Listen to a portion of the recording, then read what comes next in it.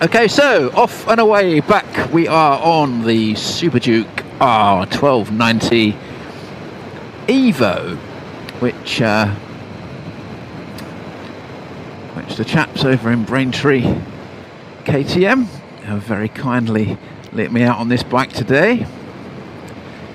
And like I say, on the on the fast country roads, I mean, she's an absolute revelation. But you have got to be careful, chaps, because you know, in rain and road, she's kind of sustainable, but once you flick her into sport, it really is a completely different bike. Um, you know, the suspension stiffens up, the throttle response is even quicker, and as it is, the throttle response has been um, quickened on this bike anyway, it's a reduced travel on the accelerator. So you really have to have your wits about you. This isn't the sort of bike that you can ride if you're tired or not quite compos mentis, um, you know, that's only going to end in one way. So you have to be focused when you're riding this bike. It's amazing fun, but it's not a bike that you're just going to poodle about on. You are going to pick up some serious speed, and it does encourage you to attack the bends and go for, you know, every bit of straight you see. So the riding position um, is comfortable, no problems, fairly upright. The seat's decent, it's uh, firm. I've done about half an hour on the seat so far today, and no problems. My knees are fairly bent. I can grab hold of the belly of the bike with my knees fairly comfortably. The mirrors are very good, very stable, no problems there. And uh, yeah, the screen's very good the the way the bike moves, you know, it's very sure-footed into the bends, in and around. All of the motorway and country road riding I've done so far, she's been absolutely perfect. You know, no problems at all, really. Slightly canted forward, a little bit of pressure on the wrists, but you know, this is a bike you would expect that from anyway. And it's a very small bike, really. Um, you know, compared to my BMW R1250R, it's slightly smaller. And uh, obviously, the look of the bike is very, very striking indeed. Lots of orange going on here, and the, the front of the the bike is, uh, you know, it's an absolute striking face, which I really like. I'm a big fan of the way the bike looks, but I know that it may well divide opinion because it is quite strong. The way the uh, the way the features are on this bike, the big orange wheels.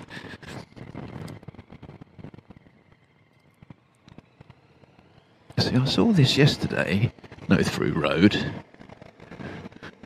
but I got through, so I'm not quite sure what it's talking about. But anyway, we'll have a look.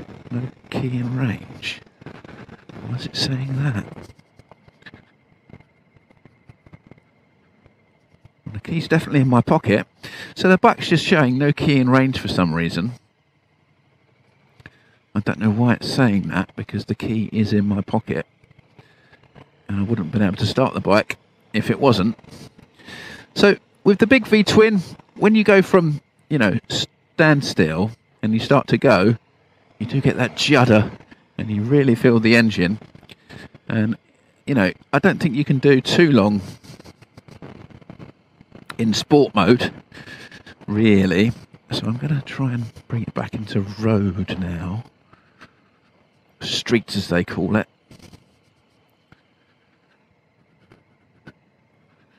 It's a slightly softer throttle response and less jerky which is what I want really on the country lanes. For now, at least, anyway. So as we go along these country lanes, there's the suspension. Well, I've got the bike in comfort, to be honest with you, but it's still quite stiff. Uh, it's good. It's okay. Um, I can't say. I mean, it's been a year since I rode the Super Duke R which didn't have this uh, super duper WP suspension, and I'm not too sure if I can really feel the difference. I mean, I'd need to ride the bikes back to back to be honest. I know I've watched reviews already and they've highly praised the suspension setup on the bike and how different it is and uh, you know what it adds to the bike but it also adds a big premium to the bike and this particular machine has got the super duper suspension the electronic automatic suspension which will adjust as you ride basically I've got it set in automatic at the moment also I do believe Actually, I'm just going to check that if the suspension is in automatic.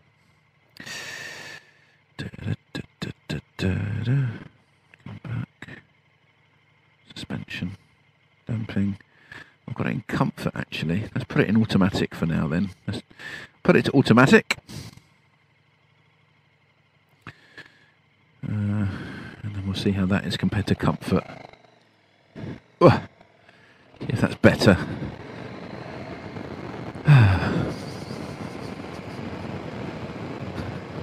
Because the thing is, if you've got it set in one setting only, and obviously we're going to do different roads, we're going to do country lanes, we're going to do in town, we're going to do uh, along the motorway a little bit as well, then you know, it's, it's going to behave differently. The brakes are absolutely excellent, guys. Twin discs to the front, single disc to the back. It's a usual setup for this type of bike, uh, but they work really nice. They're intuitive. There's good bite when you pull harder. Uh, and the other thing I'm not sure if I've got on is the anti-dive. I would like to have the anti-dive on. Now, I, I rode past this just the other day and it said road ahead closed. Okay. But it wasn't closed. Let's have a look. Still says road ahead closed. It's not closed. Why is it telling me the road's closed when it's not? And now I've got the bike in road mode, it's a lot more comfortable for me, guys. The sport mode was just a little bit too much. I had to think about the input so much into the throttle. And earlier on, I did get the front wheel up and uh, it did feel a little bit uncomfortable. I don't really want to be riding that aggressively. My style of riding in general is, yes, I like to go quick, but, you know, where I can. Otherwise, I'm kind of just chilling out, really, guys. I'm not a mad, mad racer. I just enjoy being out on the bike. But I don't want to set any land speed records, which I'm sure this bike is more than capable of doing. I'm going to get a bit of a straight here if there's nothing on it. oh god, guys, it's brilliant. It is absolutely brilliant. I know I said earlier in the video that, you know, this bike's not going to be great around town, but you know, down the country lanes, uh, obviously on track, down the twisties. It's brilliant, uh, you know, absolutely brilliant. So comfortable, so responsive, and so connected. You know, some of the bikes we've got today, they have got a lot of tech on them, but you just lose that connection and that feel. Uh, but that isn't the case with this bike. It really lets you know where you are on the road, what's going on, and the feedback from the front wheel and the suspension, even you know in the settings that I've got currently set, uh, yeah, it's, it's, very much you know linked and telling you what's going on. It's brilliant, really, absolutely brilliant. Uh, you know, the low down grunt is fine, pulling away, no problems at all. The gearbox is good. The quick shifter is very nice very, very light once I get my foot in the right position. That's nothing to do with the bike, that's to do with my big feet. Uh, so, so far, guys, yeah, I'm, I'm really, really beginning to grow into this now and enjoying this bike a lot more. I wasn't totally sure at first. It's really strange. When I first sat on the bike, I was like, mm, I'm not sure if I'm going to enjoy this. And I'm not sure if it was because of the the instant rumble and the bike wanting to go so much or what I don't know what it was but I just wasn't quite into it but now I can really really feel the appeal of having something like this and I know when I got my R1250R I did look at the Super Duke R and I think it was just a bit too expensive so I didn't go for it but yeah this is this is really good Really, really good. And the noise from the bike is also excellent. And the pickup is just, well, we are there. You've got no problems with the pickup. It's really quick. It's a lovely, I don't know how to explain it. The, the V-twin is so unique, the way it feels, this 1301cc engine, it's just, it's really, really lovely.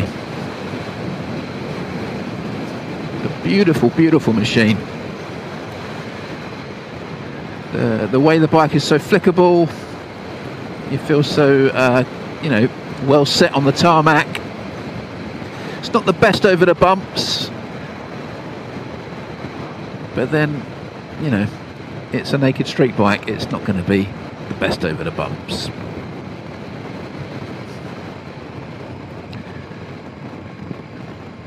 The cruise control is fairly straightforward. You just push that switch there and then touch the plus button and now that's set at 40 miles an hour which is good. We'll do the lanes again on the way back to KTM but for now I'm going to stick to the 40 and we'll do a bit of A12 and we'll see what this bike is like on the faster roads. It's going to be absolutely fine but it's more about the wind dynamic.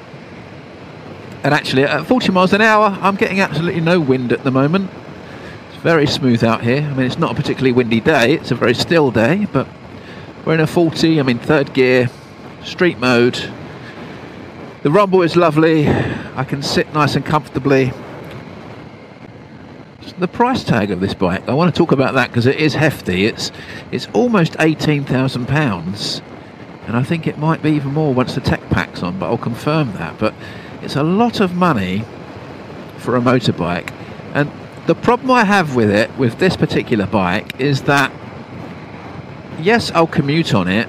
Yes, I'll do the Sunday blast on it, but I'm not going to tour on this bike, uh, I mean, you, are bound to say you can get luggage and things like that, but I don't think this bike is going to be comfortable long term enough to do the sort of miles to take you to Europe, etc. Maybe for younger riders. I mean, I'm I'm knocking on 50 now, guys, so I'm a bit older. This is an older rider's perspective. For young riders, maybe you will jump on this and uh, and go to Europe on it. But I, I wouldn't even I wouldn't even think about it to be honest. I would not even give it a thought because it's just too connected to the ground. You want something a bit more floaty and soft for that kind of travel. Oh, as he knocks it into neutral. See, I've missed a gearing again. That's me, that is. Stupid me. So getting up to motorway speeds is not a problem at all on this bike, obviously. Absolutely easy peasy.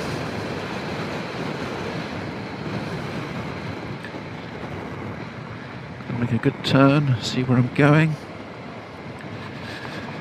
Uh, A12 at uh, just approaching 1 p.m. It's fairly busy.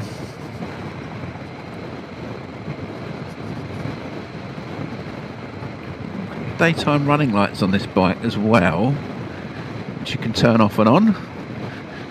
By the flick of a switch over here, which is good.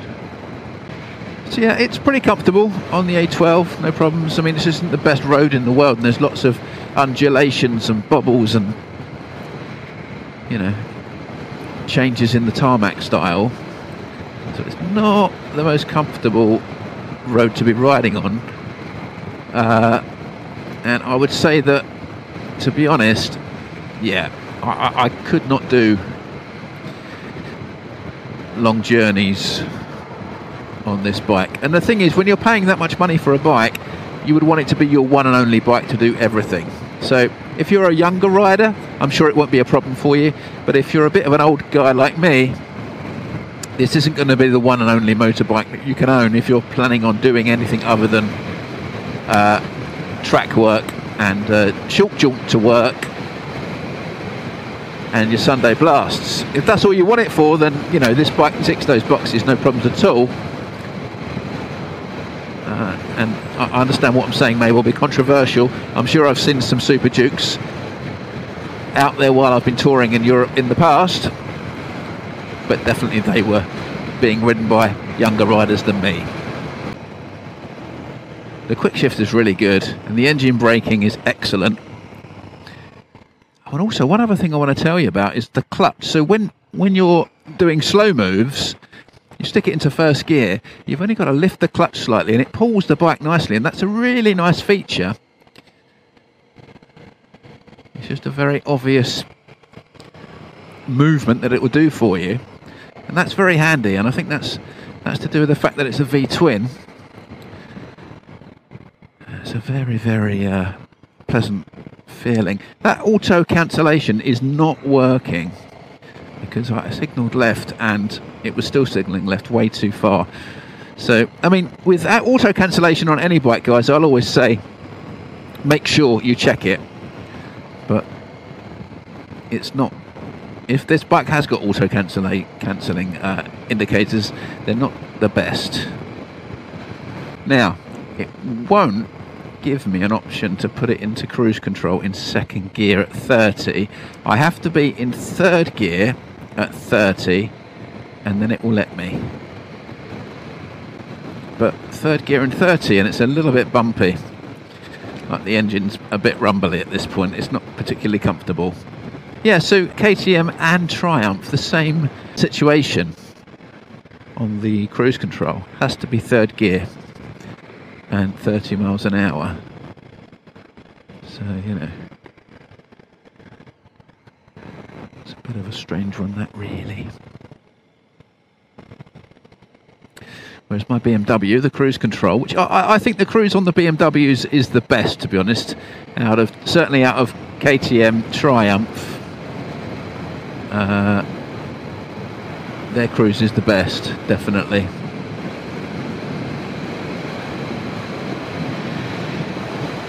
you just literally push the button with your forefinger and it will set cruise at 8 miles an hour if you want it to.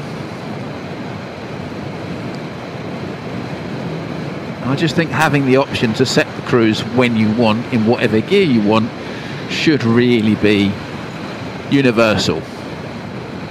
And these are the little idiosyncrasies I find when uh, looking into reviewing different manufacturers' bikes.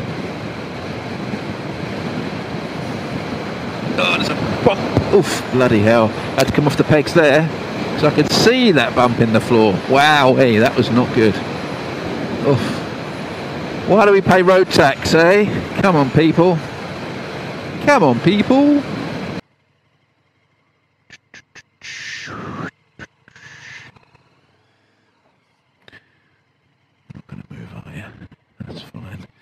Excellent for filtering. It's a very narrow bike, this, so really, really good for filtering.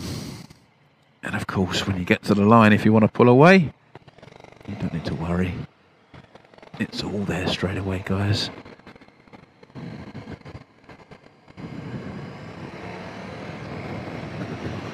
Here comes the hooligan.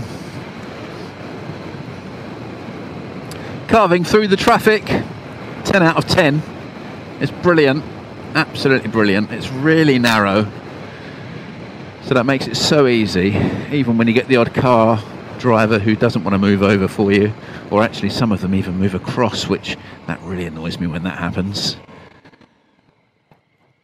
But yeah, here we are in uh, Chelmsford Town Centre, going around the the usual route. And it's a, it's a pleasure. Very nice indeed to be on this machine.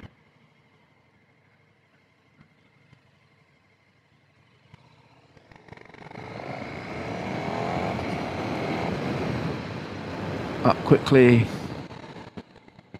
And the front brake is just brilliant. It's really good. The dynamics of the bike to go quick and then brake quickly. I mean, it's what you need, but... Oh,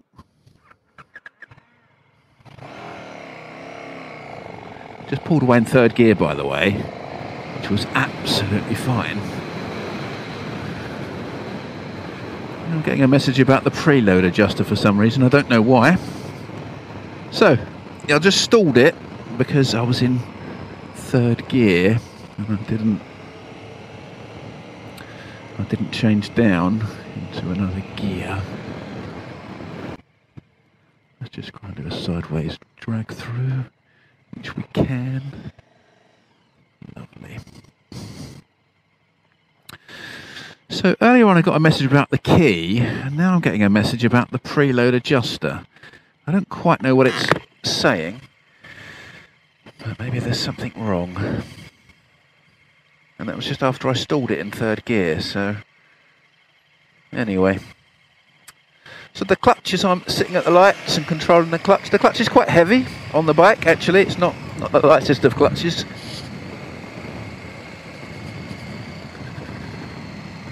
But... Uh, that's just my observation so far on that scenario.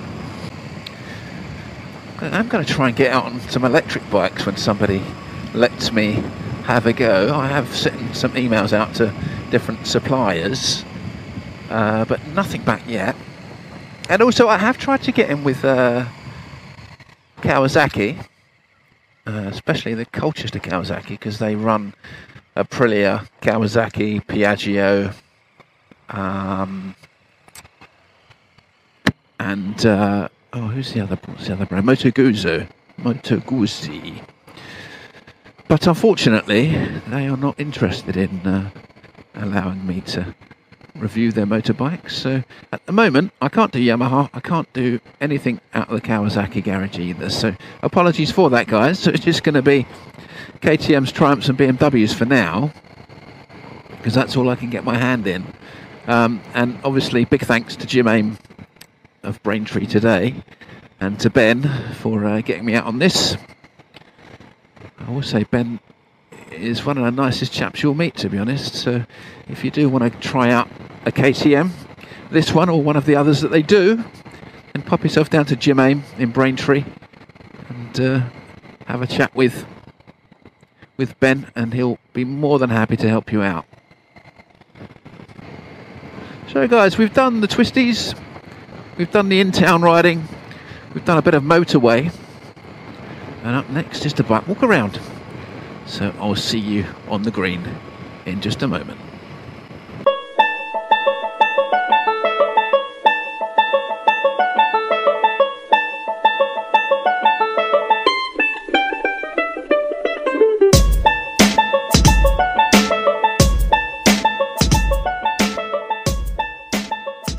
Okay, so ladies and gentlemen, welcome back to Writtle Green and we're here once again doing the bike walk around. Today we have the KTM 1290 Super Duke R Evo which begins its costing life at £17,899. Um, this particular model is fitted with the optional full tech pack which then includes track mode, a quick shifter plus, MSR adaptive brake light which means when you're braking hard it will flash intermittently to let the person behind know that you're braking hard uh, has Suspension Pro, which gives you track, advanced and auto damping settings. There's a lot of things on this bike which I'm not going to have time to go through on a first ride review, so obviously I'll put the link to the bike in the description of this video so you can go and interrogate the uh, specifics yourself. This bike does have a 1301cc LC8V twin engine, 180 brake horsepower and 140 newton meters of torque. So this bike also has anti-dive as a part of the full tech pack, a semi-active suspension, which is a new technology for this year, 7 inch TFT screen, KTM app which gives you turn-by-turn -turn nav, media and call options. The rider modes are street, rain, sport, uh, performance and track. Uh, I've been riding this bike around in rain, sport and street today and to be honest all three modes are very very good. The rain mode uh, keeps the bike down to 130 brake horsepower and all the other modes have the full 180 available. The bike has cruise control heated grips I do believe, keyless ride, self-cancelling indicators. The handlebar has four positions, front to back, 22mm of range, and the foot pegs have two positions. The LED headlights with daytime running lights. At the front we have Brembo brakes and also at the back. Two 320 dual front floating discs at the front and a 240mm disc at the back. Um, cast aluminium wheels with Bridgestone S22 tyres as standard. A 16 litre tank and the seat height is 835 millimetres. The colour we have here today is silver and orange, but you can also get orange and black, and to be honest, that's probably the colour that I would go for if I was going to get this bike myself. Uh, it's fully customizable, this bike, with the wheels, the exhaust, screen, seats, levers and foot pegs. So it's a really, really customizable machine and obviously a very, very striking motorbike. And that exhaust there that we can see, um, and more so the actual exhaust towards the front of the bike that runs out from the bottom of the inlet, it reminds me of a monster, uh, a Ducati Monster. I don't know what you think guys, but that's what it kind of reminds me of. Uh, wheels are really striking as well. And that blue sticker, if you like, that blue colour you can see just at the top of the silver, the fork there, that depicts the WP semi-automatic suspension. The uh, riding position on the bike is quite straight up, quite uh, quite easy going, not too bad. Knees are bent, but uh, it's a little bit of pressure on the wrists. As you'd expect, it's quite a, a sporty type of bike, but whilst it's a naked uh, street bike as well. It's not really, really aggressive, but it's not going to be all day comfortable. I don't think you're going to be touring on this sort of machine. This is more for your Sunday blasts and your uh, your track days definitely because it's very track orientated with the uh, technology that we have on the bike. Um, but the look of the bike is very striking and it really does get you seen, which I think also is very important when you're riding a motorbike. You've obviously got the very very striking front end there with the air intake between the lights. Um, and uh, yeah I mean that's pretty much it for the look of the bike. So what we're going to do now is we're quickly just going to dip into the screen and I'll talk you through uh, very briefly because there's a lot here guys. So very simply to turn the bike on we hit the switch here. Ready to race comes up. And then this is your home screen. Okay. To dive into the menus, you come over here, I'm going to push over to the right. And that brings you in. So you've got KTM My Ride which is the app where you're going to have directions and media and phone calls, trip data, trip 1, trip 2, general info, tyre pressure, warning service, extra functions, slip adjuster, track, anti-wheelie, launch control, motor slip regulation, emergency stop indicator, quick shifter plus, suspension pro. Oh my goodness, it just goes on, doesn't it? There's lots and lots of things there. Rider modes, as I said, we've got rain, street, sport, performance and track. And the rain mode uh, reduces you down to 130 brake horsepower motorcycle. So we've got our safety features here, MTC and MSR, ABS and Quick Shifter Pro. You can basically turn all of these features off and on. Uh, and the ABS is either set to road or supermoto. Okay. The suspension, you've got your damping, automatic sport, street comfort, track, advanced, your preload, auto high, auto standard, auto low, and a manual function where you can decide how much you want, what percentage, which is really useful. come out of that. And anti-dive, which I've got on, you can turn it off.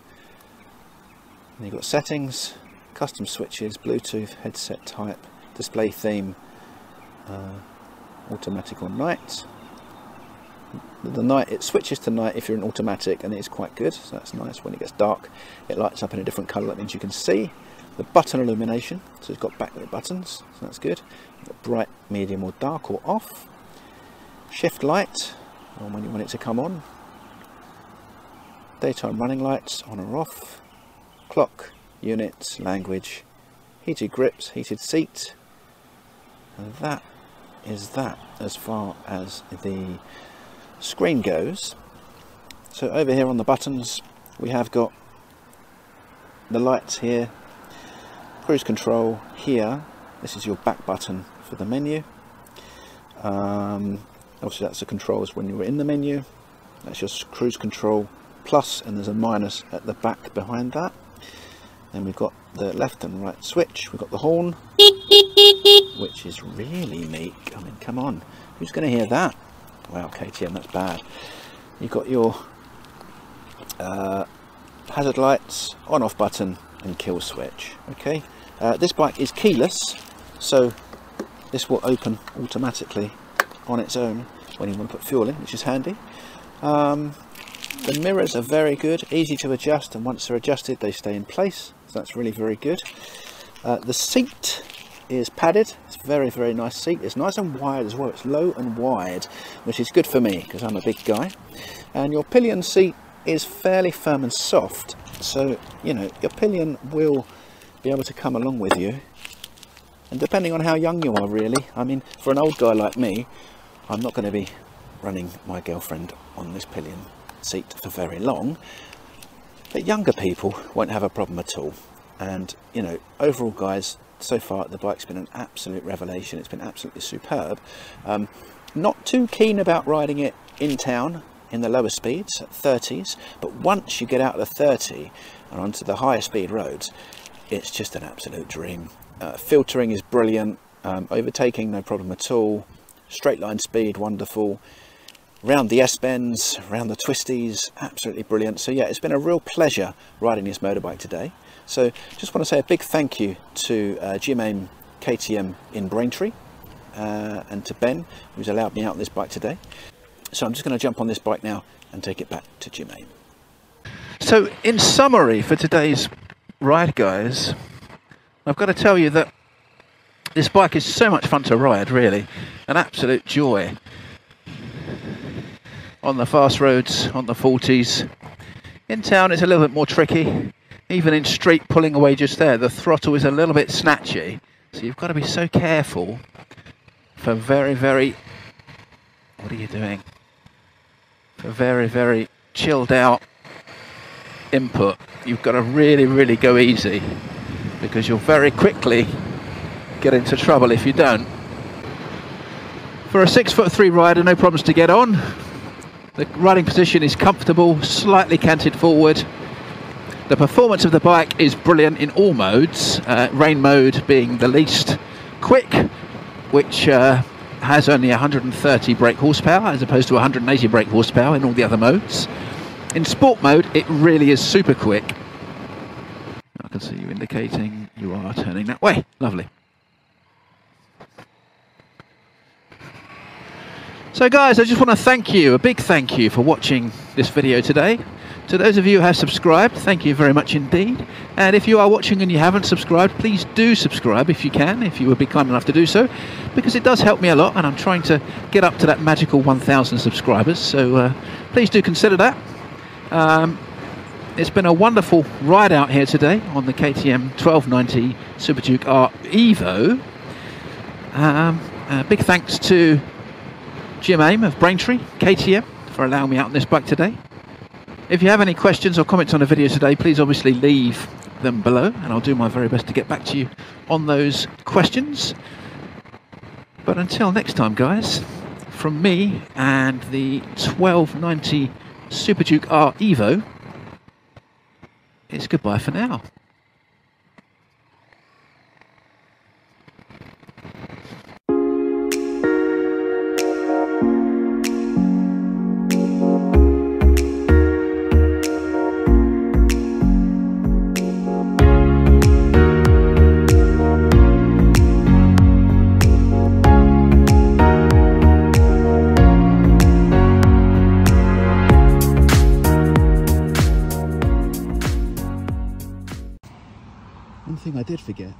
Was to show you what the exhaust sounds like. And on this bike, it's particularly important. So, I'll start off for you.